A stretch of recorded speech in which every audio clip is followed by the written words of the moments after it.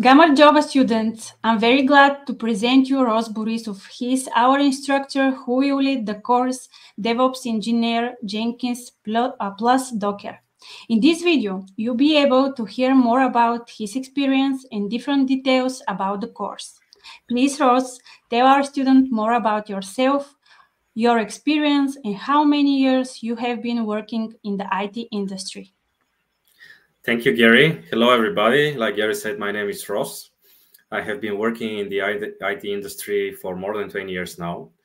Uh, I have a lot of experience uh, with the modern DevSecOps uh, movement since uh, you know the no later than 2013, and uh, I am also working in a big uh, software company responsible for overall architecture and processes in regards to DevOps for many product groups. Great, thank you very much. And the next question is, according to your observation, what is demand for such professionals like DevOps engineer? Well, I'm happy that you asked that because uh, clearly we are now living in the uh, days of strong demand for that skills. And uh, when I say those skills, I don't mean just people who know how to use the technologies that emerged in this uh, movement, uh, like containerization and most importantly, container orchestration, uh, which nowadays mostly translates into Docker and Kubernetes, but of course also others. Uh, but the industry is especially looking to hire people who uh, are well aware of how a modern uh, DevSecOps process looks like, you know, how to build a pipeline, uh, what is important to be there, uh, what are the goals that we are uh, uh, trying to achieve, and then how are we measuring the success of that implementation. You know, things like value streams and then mapping those value streams out and measuring them and etc. are very important for the industry. So just knowledge of uh, using the tools is not enough. Thank you. Thank you very much. And please tell us a bit more about the course, what topics will be covered, and what practical exercise it will include. All right. Well, uh, this is a course which is oriented uh, to teach practical um, uh, skills to the uh, students. So uh, clearly, we are gonna use a very popular uh, CI/CD software, open source Jenkins so we're gonna introduce uh, this uh, software. We're gonna work with it a lot. We're gonna be creating a lot of pipelines with it, but of course we are also going to be learning to administer it. This will be part of the exercises. And then of course we are going to focus uh, more on automating those pipelines in a professional manner. There are going to be exercises using the API scripting, uh, and of course, learning how to secure it professionally. Thank you. Great. And tell us what prerequisites should students uh, have to for this course? Well, if uh, anybody has experience with uh, any kind of scripting, be that Bash scripting in the Linux world or even a PowerShell in the Windows world, that would be a great start. It's not a must, but it certainly is going to help.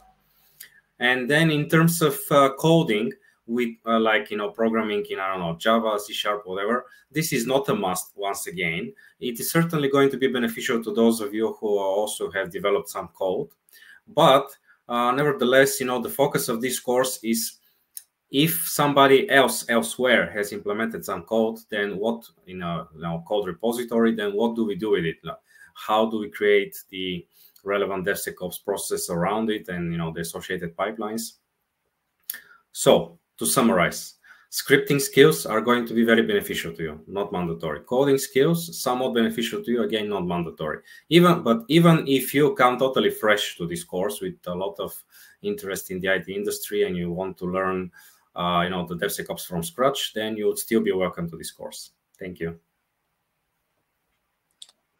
Thank you. And tell us more about the international certificate will our student get after successfully passing the exam at the end of the course?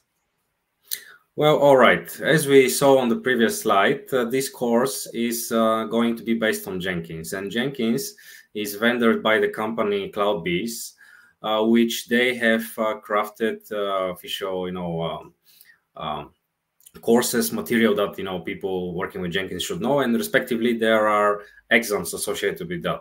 So our course is going to be preparing people to uh, take that official exam uh, that is compiled and provided by CloudBees. Now, those of you who pass this exam, you're going to have a certificate which is globally, worldwide, valid, of course. Uh, it's available uh, online, so anybody, like if you send this certificate to anybody, they could validate that you really have taken the exam on which date and etc.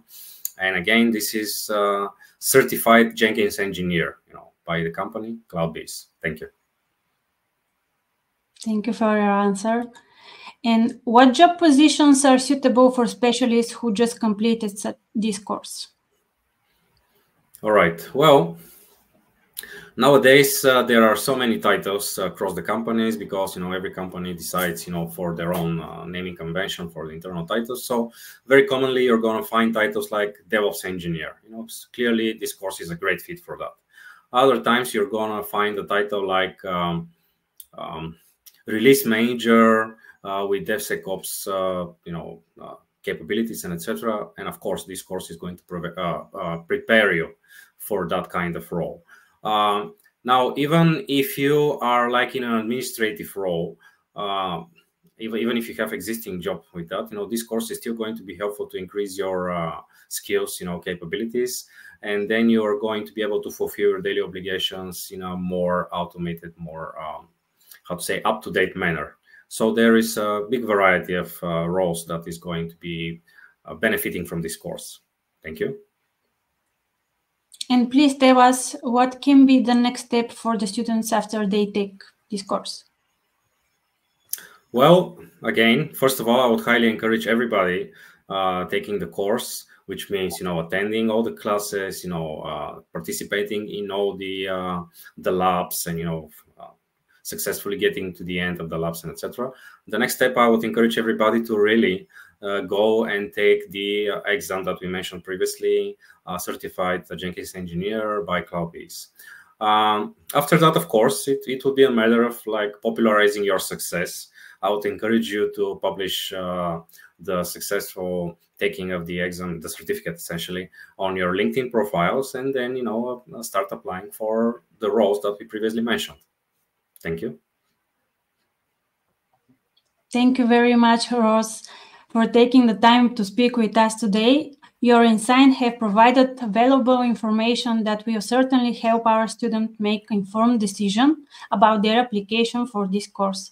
We truly appreciate your contribution and look forward to seeing you again in our coming training sessions. See you. Thank you, Gary. My pleasure. See you. Bye-bye. Bye.